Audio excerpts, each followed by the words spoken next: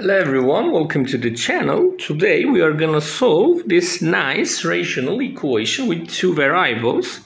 We have 1 over a plus 1 over b is equal to a plus b. So we will solve this uh, for a in terms of b or for b in terms of a. Uh, now my friends, uh, to have a common denominator, let's multiply the whole equation by a times b. So left hand side we will cancel a's, we will have b and we will cancel b's, we will have a. This is equal to a plus b times a, b. So having everything on the same side, we can write a plus b times ab minus this 1 times b plus a and this is equal to 0 now. Grouping factoring a plus b out we will have a plus b times ab minus 1 this is equal to 0 so we have two possibilities.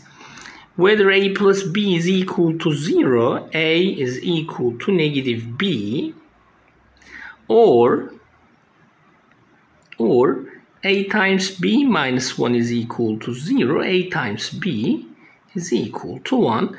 Let me try some values.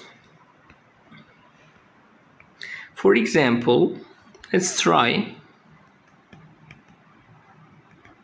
for the case a plus b is equal to 0 or a is equal to negative b Let's say a is equal to 2 and b is equal to negative 2.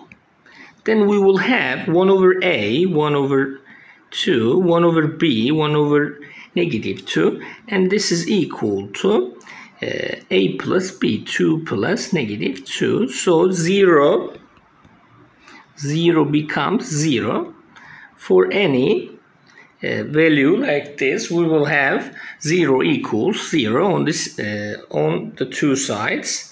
And for the other result we have a times b is equal to 1 say a is equal to 2 and b is equal to 1 half.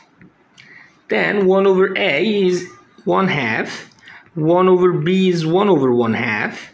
And this is equal to a plus b 2 plus uh, 1 half. This second one becomes 2 and the first one is 1 half. So we have equal sides. Thank you for watching the video and see you in the next videos.